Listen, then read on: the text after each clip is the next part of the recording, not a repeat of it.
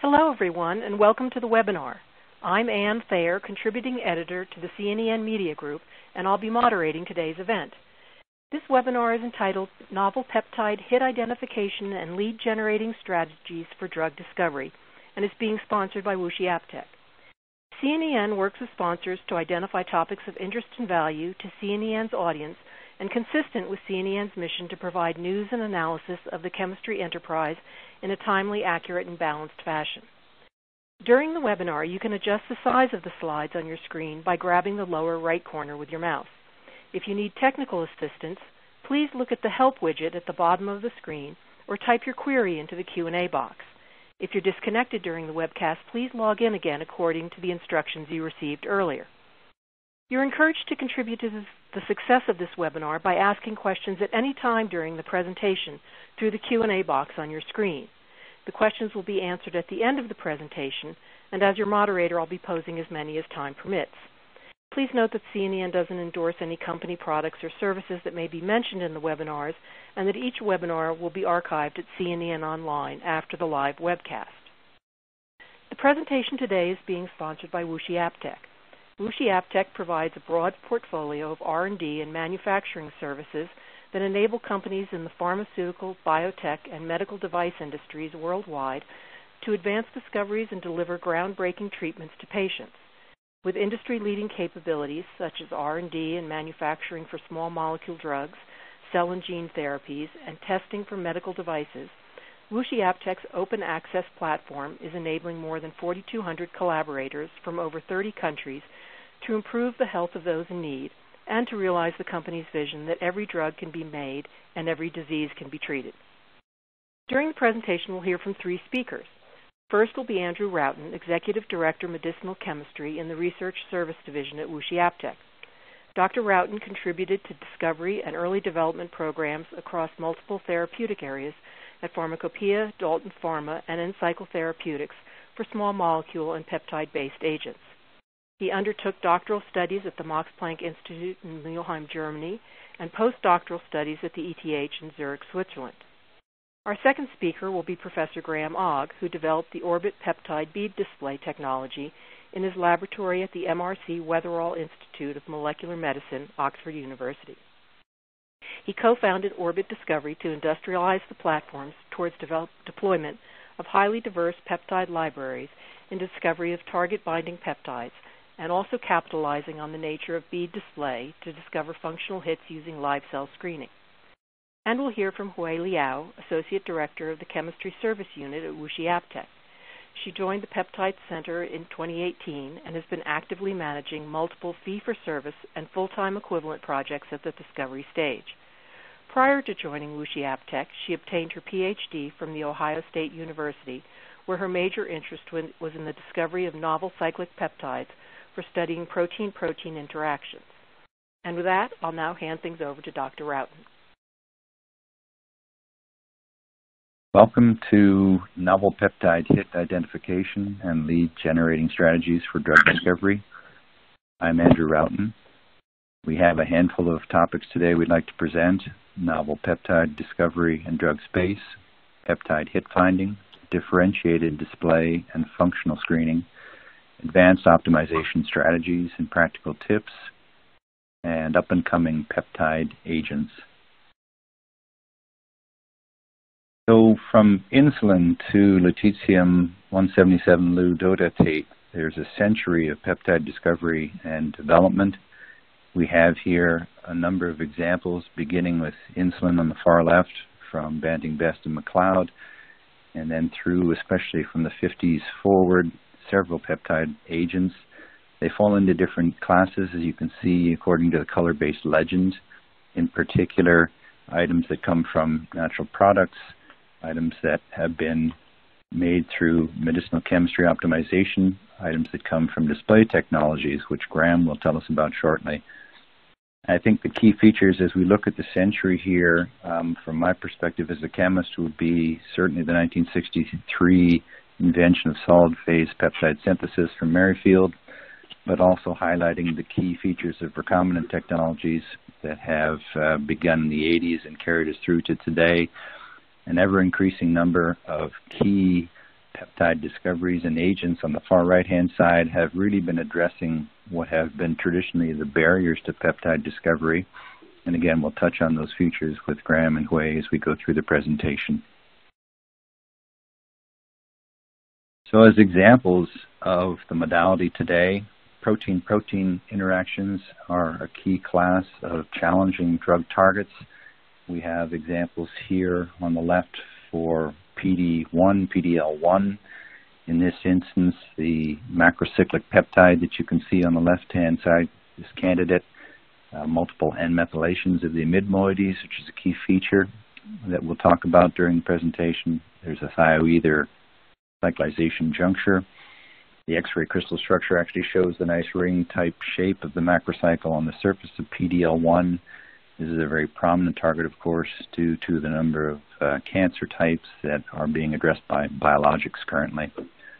Another example comes from the GPCR space where we have CXCR4, its interaction with CXCL12, the macrocycline case here from Polyphore in Basel. Uh, really highlights, I think, nicely the platform chemistry devoted to the beta hairpin turn with a bridging disulfide as well. Next example comes from the antiviral space. We have an example here called bulevirtide. This is a first-in-class entry inhibitor for hepatitis delta virus HDV and hepatitis B. This agent is a linear 47 amino acid species, I think um, comprised largely of natural amino acids. I would highlight the bottom right-hand side where there is a lipidation strategy in place here, the myristoyl, and uh, underscore that this is exactly the kind of modification that we'll touch on later with Hui's presentation. But this is a, a an interesting first-in-class entry to antiviral peptide space.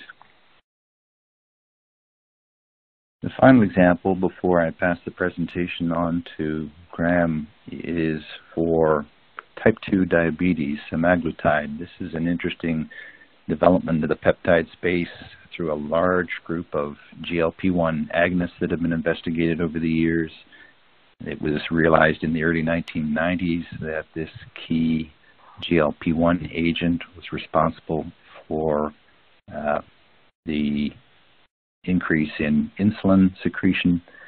And the Novo Nordisk team spent quite a bit of time optimizing key features, one of which involves a non-natural, non-proteinogenic amino acid, the amino acid butyric acid substitution, to increase stability, which addresses one of the key features of peptides that uh, over the years have been recognized as uh, an issue to solve.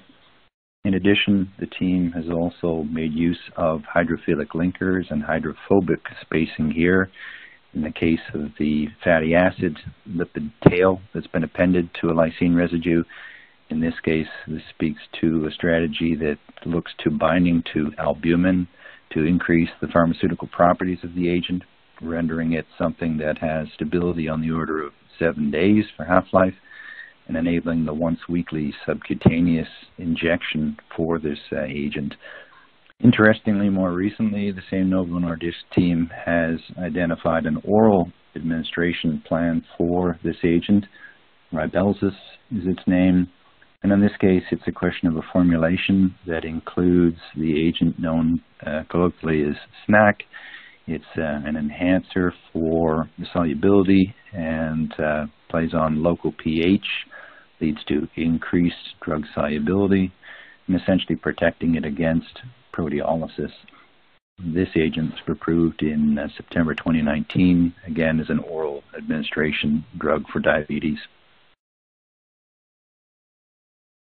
Well, thank you, Andrew, and thank you for the kind invitation to talk uh, today at the WuXi webinar series. I've thoroughly in, enjoyed it so far, and it's a, a pleasure to be here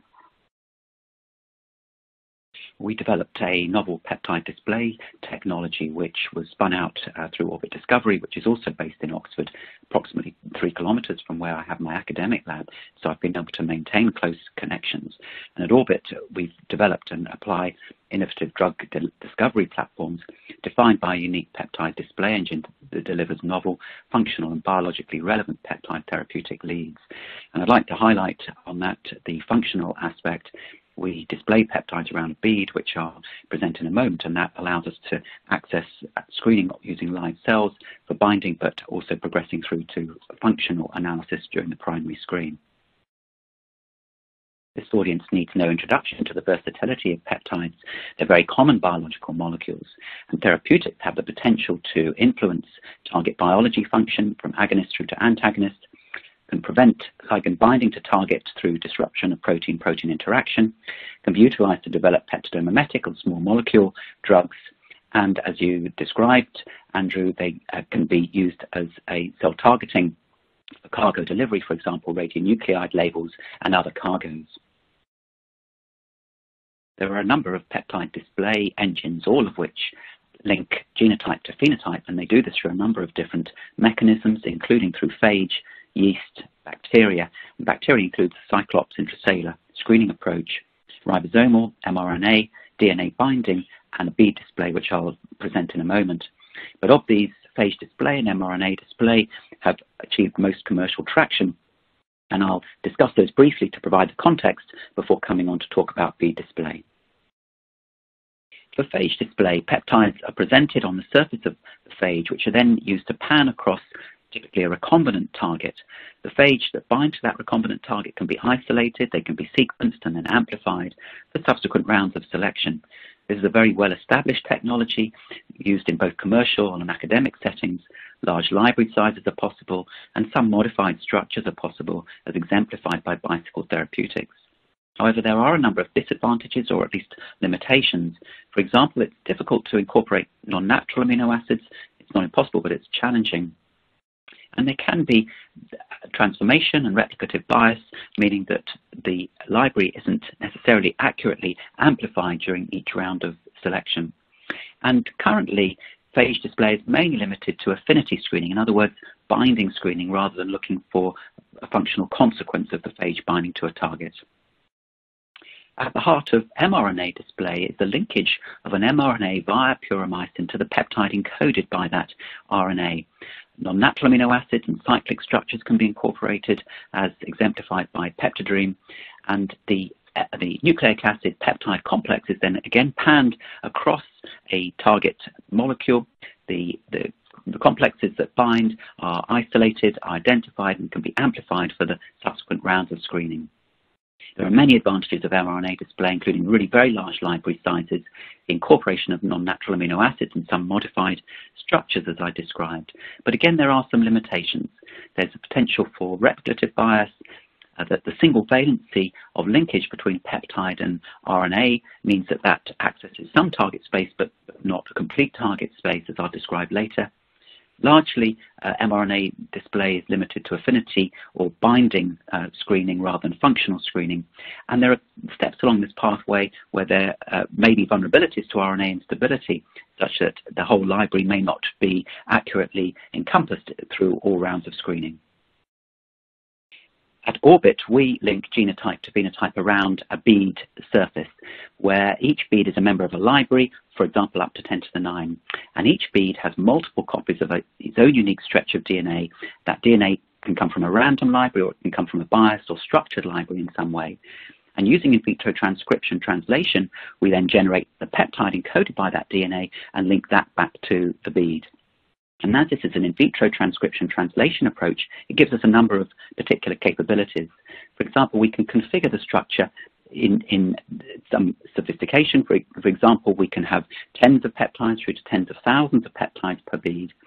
The peptide conformation can be linear through to cyclic, and, and cyclic structures are our workhorse uh, peptide display system. We can express a range of different peptide sizes through to just a few amino acids, through to whole proteins. So, for example, we've encoded protein um, antibodies on the surface of the beads. We can incorporate non-natural amino acids translationally, as I'll describe in a moment, and we can also introduce post-translational modifications. And as the beads are an inanimate structure, we can perform on bead chemistry and we can modify the structure of the, the, the peptides uh, and expose them to conditions that might be relevant for particular targets, for example, low endosomal pH. So this is how we make the bead library. We capitalize on the capabilities of microfluidics and the formation of water and oil emulsions where each uh, water and oil emulsion is a microcompartment separated from its neighbor. And within each of those, we place a, a, a, a, bead and also a piece of DNA from the library. We then undertake emulsion PCR so that we amplify and then link back multiple copies of that stretch of DNA around each bead, which is separated from its neighbor. On the third bead along there, we have in vitro transcription translation where we convert that DNA into the peptide or protein encoded by that DNA and link that back to the bead. So now each bead, as I mentioned, has uh, up to many thousands of copies of DNA and many thousands of copies of the peptide or protein encoded by that DNA. And then we can take that bead and either add that to a recombinant target molecule for, for affinity screening. But importantly, we can also run that bead across live cells, looking for binding to live cells. But also, because the beads are multivalent, we can also induce functional response in those cells and detect that through reporter systems and we determine which beads have, have either bound to the cell or uh, induced a functional response in the cell by sequencing the DNA on the bead. We can then use that to identify particular motifs expressed by the peptide or protein, and we can do multiple rounds of screening. So at Orbit, we do two forms of screening. The first is affinity or binding screening, and the second is live cell screening. And I've got a couple of slides on each of those to exemplify how, how we do those screens. So the first is the affinity or binding screening, where we simply take our library of beads that are expressing the peptides and the DNA, and we mix those with targets. Typically, we label those targets with a, a fluorescently labeled antibody. The beads that bind to the particular fluorescent target, then acquire that fluorescence, and we can identify those using flow cytometry. We can sort the, the, the beads that are bound to the target using a, a flow-based system, and we can regenerate the beads, amplify, and do multiple rounds of screening. This is very rapid, so each round takes a few days, so we can do three rounds of screening, which is our typical workhorse system, uh, within three to four weeks. And this gives a, a, number of additional capabilities because in the same selection step, we can include more than one target. For example, you might want one target which is the wild type and another target which is the, uh, the, the, a mutant version. Each can be linked to different fluorescent markers and then you would sort either one color or both colors to identify selectivity and specificity during the primary screen. So this data shows some example uh, screen and uh, outputs that we obtain. Uh, we can screen comfortably between 200 million and a billion bead size, library size. Each round of screening is shown there in the FACS plots, and then the cumulative data shown on the right. But uh, for each round, you can see the beads that are bound to the uh, the fluorescent target as the right-hand half of each of those FACS plots. After the first round, we see a few beads binding. We isolate those, amplify, and, and place those into a new bead library for the second round, and then through to the third round. And in this particular example, we spiked in a control sequence, and we can see that after the third round, 30% of the beads that are binding to the target are the, of the control sequence.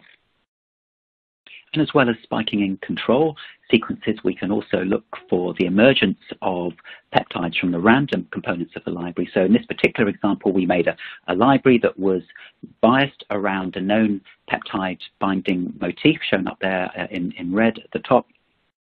And as I said, we can either have completely random libraries or we can have them biased around known motifs to look for enrichment of, of particular characteristics. And in this particular screen, the vast majority of the top 200 hits uh, did show uh, compatibility with this motif. And I've just shown the top 10 here uh, to illustrate that, that the outputs that we get. And we found an additional capability here that this system can also be used for a rapid triaging of the initial hits before going on to uh, chemical peptide synthesis and more um, uh, intensive analysis such as uh, surface plasmon resonance. And, and, we do that by making beads expressing pure members of the, the hit. So on the bottom left FACS plot there, we've made beads all expressing mutant 1. And we can see that all of those beads are able to bind to the fluorescent target. And the same there on the bottom right with mutant 4. So we can very rapidly uh, triage and confirm hits that we've picked up during the screens before going on to more um, uh, resource-intensive uh, uh, next steps. And another filter that we have introduced in our modeling department is to make structural predictions of the hits based on any known peptide structures. So here we've compared a particular hit uh, with a known structure of a known peptide, and then we can, on the basis of uh, predicted interactions and, and desired characteristics, go on to choose the ones that we want to progress to next steps. And I mentioned that we can incorporate non-natural amino acids and cyclic structures. This slide shows examples of incorporation of non-natural amino acids done in two different ways. The green uh, fluorescent bar within A uh, on the left there shows a BODIPY labeled cysteine incorporation within a peptide. And the second uh, green uh, fluorescent uh, column there, you'll note a, a blue upper aspect to that uh, band, uh, that particular peptide is incorporated not only a BODIPY labeled cysteine, but also a blue labeled azidophenylaniline incorporated using codon reassignment. So we can incorporate non-natural amino acids using a number of different approaches, and we can incorporate more than one non-natural amino acid within each peptide. And in addition to doing affinity or binding screening, we can also probe live cells, as I mentioned, and, and specifically to look for functional uh, responses in those live cells. And here again, we return to the microfluidic system. Here on the, on the left, you can see a, a, an image, it's a dynamic image, there's a stream of droplets forming uh, through to the right of that image. And feeding into that, we have two inputs. We have cells coming through one channel and uh, beads coming through another channel. And the cells have got a GFP reporter linked to, uh, to a particular GPCR. And on the right there, you'll see a still image of the output that we would obtain. Those beautiful circles are each microdroplets, water and oil microdroplets separated from the neighbor. And you'll see that some have got large green uh, cells for which the reporter has been activated. And if you get your eye in, you'll see that some of the droplets also have got beads in them. And if the bead expresses the right peptide to induce a functional response in that GPCR expressing cell, we detect that through the GFP induction and can identify the beads that are bound to uh, that, that particular cell and induce the functional response during the primary screen. And in addition to using droplet system for functional screening, which has enormous diversity. So, for example, we can produce droplets at several thousand per second. We also, when we have a more limited library where we're looking for rich biological data, like to use a plate-based system. And here, in each of these wells, we have our reporter cells, in this example with a GPCR linked to a GFP reporter again, and we place different numbers of beads and different types of beads in each, in each well. And then we simply look for the wells that uh, show the fluorescent signal, and that typically uh, as you can see here, has a good signal-to-noise ratio. But having this system in uh, uh, different wells allows additional capabilities. So for example, it's easy to control conditions in different wells. You might have different pH uh, levels, for example. You might have different uh, co-stimulatory or co-inhibitory factors present at the time of the screen. One can look at biased agonism, so one can have reporters linked to different pathways to look at different signaling method, mechanisms. And it's also possible to produce peptide off bead, and this is possible both in the droplet and in the plate-based system. So that now peptide, as well as being attached to the bead, is also present in the supernatant of the wells or the droplets. So this opens up a number of possibilities of investigating, for example, cell penetrating peptides, internalization, and intracellular targets. And it can also potentially allow examination of protein-protein interactions. I've described a number of different approaches to high throughput peptide display, including the very powerful phage display and mRNA display. We believe that the bead display system does have those capabilities, but also extends to new target reach and new biology by uh, being able to screen against live cells. It may be that certain targets are only in their correct conformation in situ in a cell membrane, so it allows access to a, a, a wider target reach. But importantly, the bead system can induce a functional response in the cells, so it allows us to access very rich sources of biological data during the primary screen. In, in, summary, we believe that the bead display system will allow reach to new target space and to examine functionality in the primary screen. I can answer questions at the end of the seminar, but if you prefer to email, then please do. And, but once we've identified the candidate hits, then we would engage with expert partners such as Hui at WuXi to help progress through to novel therapeutics. Thank you, Graham, for the interesting overview of the display technologies and in particular the Orbit Discovery platform with uh, a number of key advances over earlier generation technologies. very exciting. As we transition into the next stage of SAR development techniques from Hui, want to focus a bit on peptide pros and cons in general. Um, there have over the years been a number of folks recognize how important and key the affinity and selectivity of peptides can be as agents. Typically there's not an issue with aqueous solubility. Uh, there are a number of natural ligands, endogenous ligands that are peptides that can be used as templates. All of these contribute to what folks consider to be the positive aspects of peptide modality. On the other hand, what I think the field has really been challenged to overcome over the years have been stability, um, metabolic stability, uh, protease stability, permeability, cell uptake, and oral bioavailability.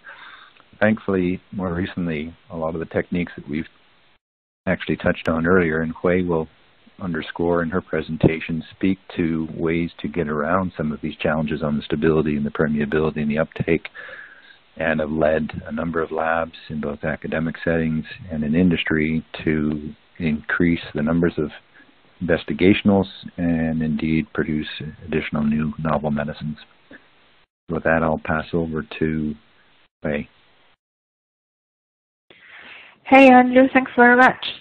Um, in general, the heats identified from initial screening only exhibit moderate affinity and specificity. So here, my talk today will focus majorly on further optimization and adding some drug-like properties, as well as how to overcome the synthetic difficulties. So first, here are a few directions you may think about. The very first one is to replace the natural amino acids with non-proteogenic amino acids. The second one is to convert your linear sequence into a cyclic one. The third one is to add some other units, such as sugars, PEG units, as well as lipids, to change its original hydrophobicity profile. And the last one is to add some desired functional group, such as cell-penetrating peptides, to let your peptide have the desired function. So for each optimization direction listed here, I will have a detailed slide to show you how they look like. First, let's look at what non-proteogenic amino acids are. Take phenylalanine as an example. Naturally, the amino acids are L configuration like this then directly alter the chiral center on alpha carbon. This results in the D configuration. If the aromatic side chain is converted into saturated hexane group, it will result in the side chain mimetics. Further, adding one more methyl group on the amine here, this results in the group called unmethylated amino acids and N-methylation is in general related to better PK characteristics and oral availability. Lastly, in order to cyclize peptides via cyclic or RCM, it is required to introduce the amino acids containing azide, alkene, alkyne groups like these. The previous slides give you a few examples based on four categories. This slide here gives you a broader collection of special amino acids. Basically, if one molecule contains one amine and one carboxylic acid, this one can be considered as one amino acid. Then the side chain can be developed into any desired structure you want. These amino acids can be alpha, beta, or gamma amino acids. As you can see, this collection really expands the chemical diversity of synthetic peptides. Currently, there are more than 10,000 special amino acids reported in literature, and more than 25% of them are commercial available. The second direction is macrocyclization. As you can see from the examples in the beginning of this webinar, there have been multiple successful macrocyclics existing on market. Currently, there are more than 50 cyclic peptides under clinical study, and more are in the discovery stage. Compared to the linear version, cyclization allows the peptide to form a pre-organized structure, and the cyclic peptides shows improved affinity, specificity, stability, and sometimes better cell permeability as well.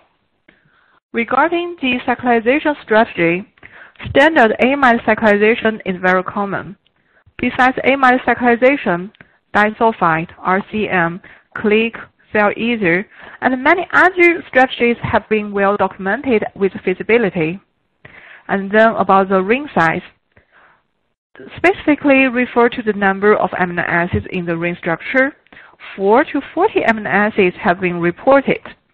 If the sequence contains less than 4 or greater than 40 amino acids, the synthesis would be quite challenging, and the success rate will be sequence dependent.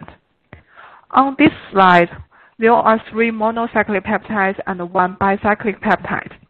In practice, the sequence can contain one, two, three, or even four ring structures. Obviously, the more ring structure it contains, the higher complexity and difficulty it has during synthesis. Here comes the third direction, glycosylation, pegylation, and lipidation.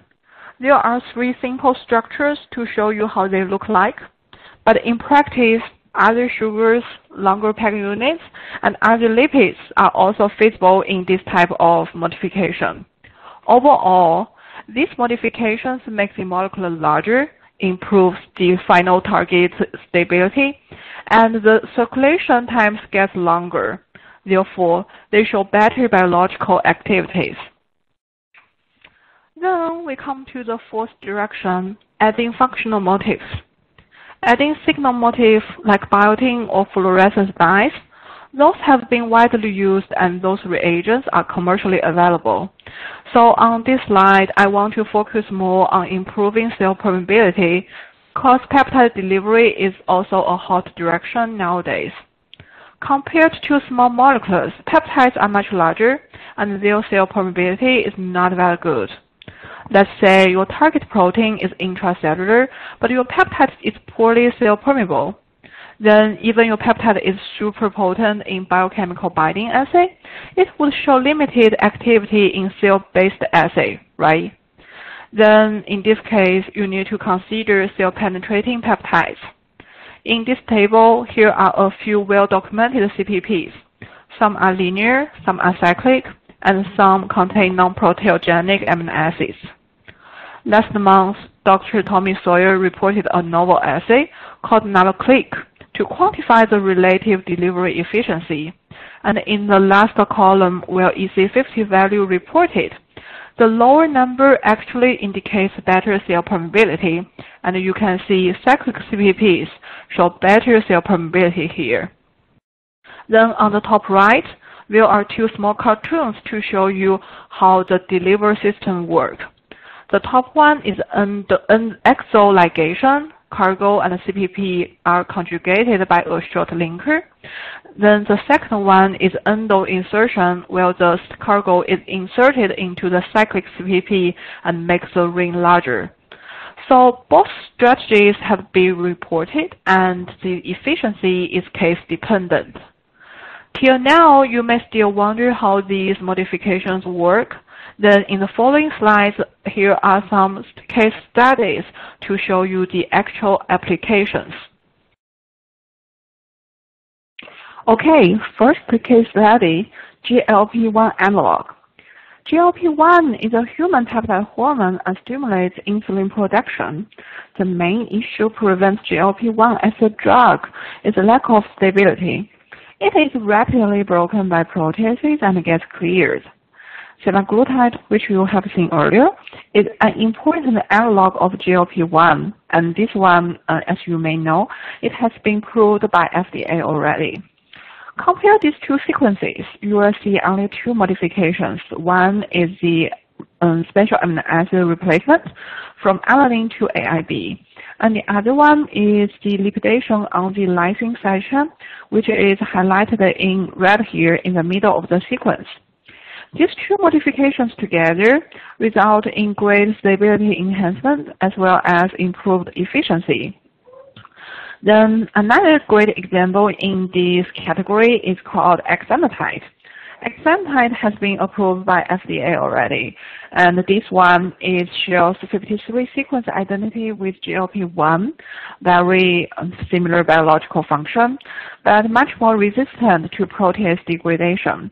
The reason is that exenatide is a synthetic version of a natural peptide isolated from animal, non-human source. So our current projects include medical analog synthesis from exenatide. The residues highlighted in green here are the highly conserved helical region, and we didn't mutate those uh, positions. And the residues highlighted in light pink here are the positions undergoing SAR study right now. So that means they are mutated to other building blocks, including special amino acids we talked about before. The lessons learned from semaglutide case, I mean the AIB replacement and the lipidation, on lysine, are also applied here. So thanks to current instrument and engineering technology, the synthesis gets much faster now. The high throughput automatic synthesizer can go up to 96 sequences in one cycle. Then let's say the target linear sequence is 42 amino acids. Overall, 8 to 10 working days would be sufficient for one synthetic cycle. And this, originally, it would take 30 to 40 days in the old days. So as you can see, this really enables the shorter SAR cycle, and we can quickly move into next round of design and get the favorable product faster. The second case study is about a complex peptide synthesis on solid phase. This is a bicyclic peptide, both cyclization on amide bond. The actual sequence is even longer, but the key motif is like this. Two cyclic peptides connected by a few residues out of the ring. As you can see, besides the cyclization positions, there are other aspartic acid, glutamic acid, lysine exist in the sequence. Obviously, the orthogonal protecting groups need to be carefully chosen. And in this case, our initial attempts were using lysine analog and allele-protected glutamic acid in the first ring during SPPS. Uh, when we reach the lysine in the first ring, we can remove the analog and allele together, cyclize it on resin, then continue the SPPS, repeat the second ring construction. However, the second cyclization always failed, even using different cyclization reagents, try in solution phase or in uh, or on solid phase. Probably due to the unfavorable secondary structure after the first cyclization formed. So how can we solve this issue? Finally, we came up with this idea. The synthesis of first cyclic ring on resin is okay, right? So we can keep this one. The second ring is moved to another pool of resin, synthesized independently on chloride resin, cleave, uh, cyclized on resin, cleave, and then expose the only one free carboxylic acid. The whole red building block is used in the first SPPS, then FMOC removed, continue the tail synthesis. This strategy has been successfully validated in this series, and we deliver more than 20 targets here. The previous case is about fragment coupling on solid phase. Then here is the third case study about fragment condensation in solution phase. Let's say you want your product to contain two motifs or even more. Perhaps one is a CPP and the other one is your cargo, or one is a targeting molecule and the other one is like a drug. There are many possibilities you can think about. So the first point I want to draw here, there are different conjugation strategies you can choose, such as click chemistry, disulfide bridge, and amide bond. The second point is your molecule can go really large in this case by applying this ligation strategy. And our most recent successful case is a 16 kD mini protein synthesized via this methodology and is bioactive after refolding. The third point, and uh, which I think is the nicest part, is the combinatorial chemistry can be applied here. For example, let's say you have two independent screening and you choose four motif A and three motif B. Then you want to figure out which combination would give you the best results. Instead of synthesizing each target one by one, you can prepare motif A and motif B in a slightly larger scale, then set up the ligation in parallel. Then very quickly you can obtain 12 targets and compare their activity side by side. If your number of A and B is larger, then finally you will get a very big pool of candidates within a relatively short synthetic cycle. So in those examples I have shown here, I couldn't cover all problems we have met during our work. Here are some other general tips during synthesis, purification, and handling you can think about. First of all, when your peptides are really easy to form aggregates during solid peptide synthesis, you can consider pseudo-dipeptides as well as use a low-loading resin. Um, for disulfide bond formation, the reaction time vary a lot. Sometimes 2 hours is sufficient, sometimes 40 hours is not completed yet. So please carefully monitor your reaction. For RCM and click, you may obtain two peaks with same molecular weight. Then in a later stage where you need to figure out which one is which, it would be difficult. Coupling reaction on solid phase, some can be quick, some can be slow. Then you need to put extra attention to uh, DIC coupling condition, especially in large scale. Do not let it go too long. Regarding stability issue, we have met this problem with some peptides containing PEG units. Those peptides are sensitive to light and the base, so be careful during the process after previously, uh, like lyophilization. The purity may drop after lyophilization. In general, phosphorylated amino acids are difficult to couple. You may need assistance from microwave here. Cyclic peptide synthesis is tricky. If you fail at one synthesis, you can always consider another cyclization site. Then last point for purification process. C18 is always our primary choice, but it's not the only one. If C18 column doesn't give you good resolution, you can always think about C8 or C4 columns.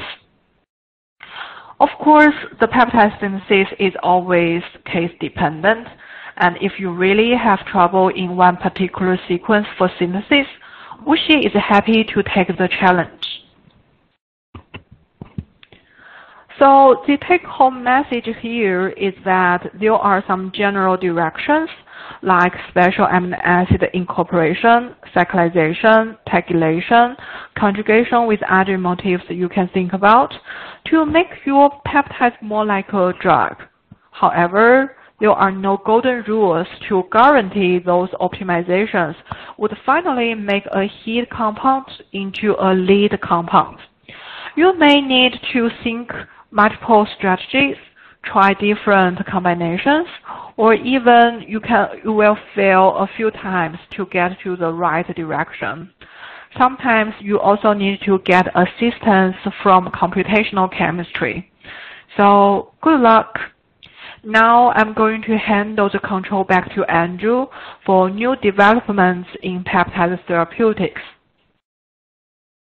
Thanks very much, Wei, for that overview of techniques, technologies, know-how, and understanding. I think it's interesting to note the sophistication in both the HitID platforms, exemplified by Graham's presentation on the orbit work, as well as the SAR development and optimization platforms described by Hui. We'd like to finish off with some new developments in peptides combinations, constraints, mechanisms, and modalities.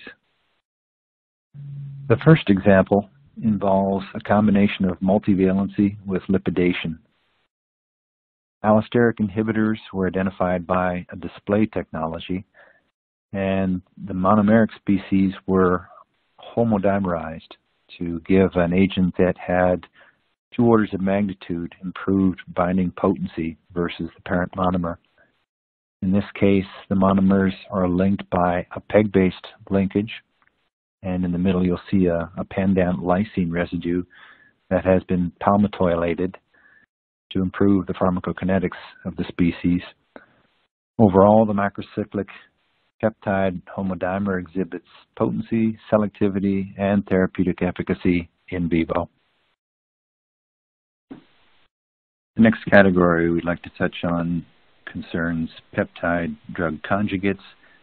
In this instance, we have at the far left the emerging modality example from the radial nuclide therapy space it takes advantage of the known long legacy of somatostatin receptor binding strength and selectivity and attaches a pendant uh, crown that contains the lutetium-177 radionuclide, which is in the business of emitting beta particles to treat tumors.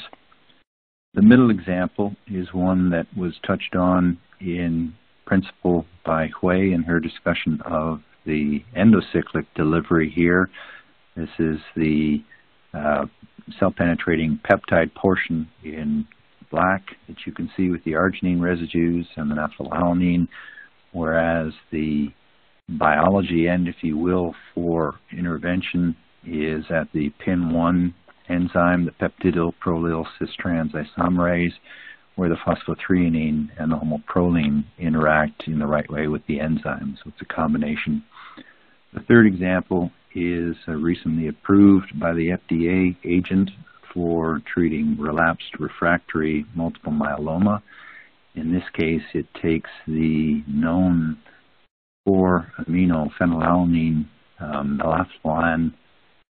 alkylating agent and creates a peptide, peptide prodrug that, uh, as I say, was just recently approved as another example of peptide drug conjugates. The next example involves conformationally restricted peptides. On the left, Aileron's agent, uh, an alpha helix that is stapled with a hydrocarbon, produces an agent that is a dual MDMX, MDM2, P53 protein-protein interaction inhibitor and is an anti-leukemic agent. On the right-hand side, from the Bicycle Therapeutics platform that Graham touched on, we have a appropriately juxtaposed cysteine residues that alkylate the tribenzyl bromide to produce a bicycle linked through sarcosine, beta-alanine, and a disulfide to the mertansine DM1 toxin payload. The bicycle platform also involves tumor-targeted immune cell agonists, so-called TICAs, in which a specific tumor targeting antigen bicycle is linked to a second bicycle that targets an immune agonist receptor. The final example involves cell-penetrating peptides, in particular an improvement in our understanding of the mechanism for endocytic uptake. This is non-receptor mediated uptake, and importantly, it documents the Dehua Pays group understanding of CPP12 on the right-hand side. You'll recognize again the arginine residues, the naphthylalanine linked to a payload. And it's all about better understanding how endocytosis via budding vesicles and the early and late endosomal escape Uh, uh, are elicited mechanistically, and importantly, moving a highly polar agent from outside the cell to the cytosol to summarize our presentation today, the key message is that a lot of the legacy barriers to peptide modality are eroding as novel techniques and technologies are discovered and insights accumulate. Speaking first to the display and Graham's presentation, peptide display platforms are now successfully integrated into both academic and commercial activities for hit finding. Large libraries are now possible, as Graham mentioned, and this includes, importantly, modified translationally and post-translationally modified peptides. Next generation screening encompasses the existing advantages that have been there since the days of phage, but adds an important new capability that includes the functional live cell screening. Overall, incorporation, as Hui mentioned, the non-proteinogenic amino acids, constraints, hydrophobicity, hydrophilicity, all often in combination, really gives us a powerful optimization toolkit to apply. And as always, it's a question of creative solutions, overcoming long-standing challenges, uh, increases the number and the quality of peptide modality agents that are under investigation for therapeutic invention.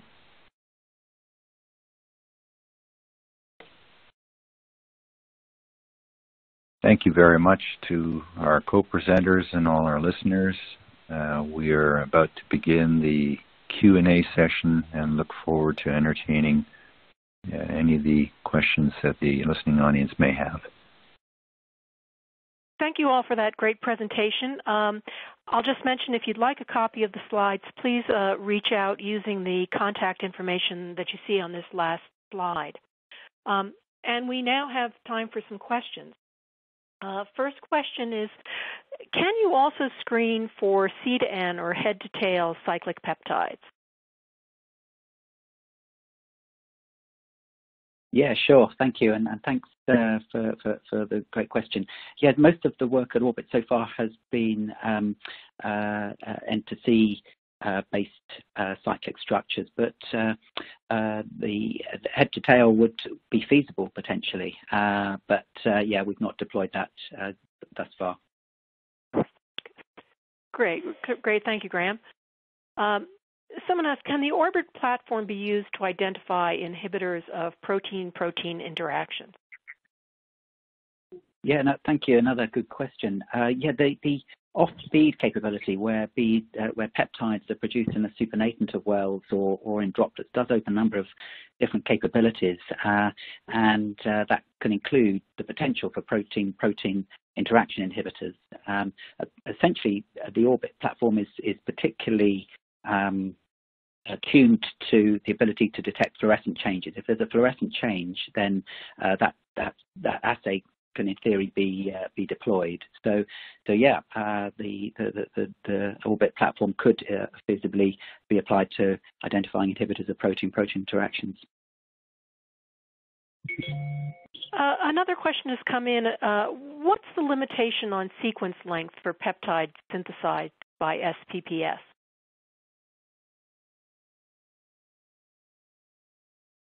Yeah, I'll, I'll, this is Andrew. I'll take a, a, a, jump here. So I think the solid phase synthesis that the team typically would work on as a maximum would go out to uh, as high as 70 residues.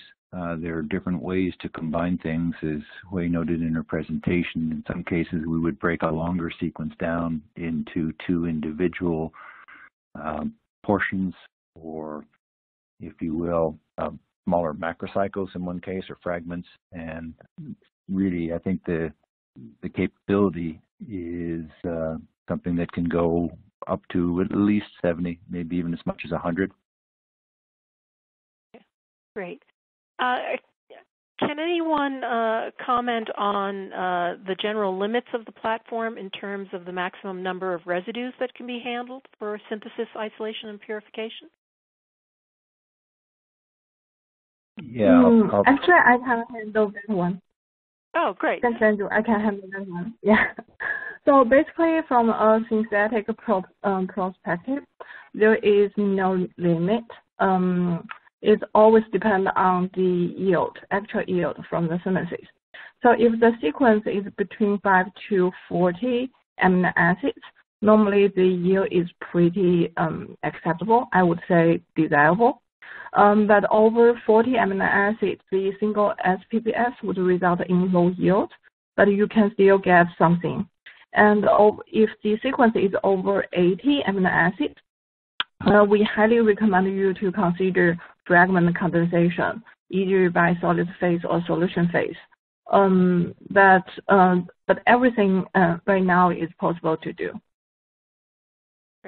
Thank you, Huang. Um, we have another question for you. Uh, what are the minimum and maximum scales of synthesis, isolation, purification, and consolidation that the SAR development optimization platform operate, operates on? Okay, so right now the minimum scale for SAR, I would say uh, in practice is 25 micromole resin. And if we consider the weight of the final peptide, it would be about 0.5 to 1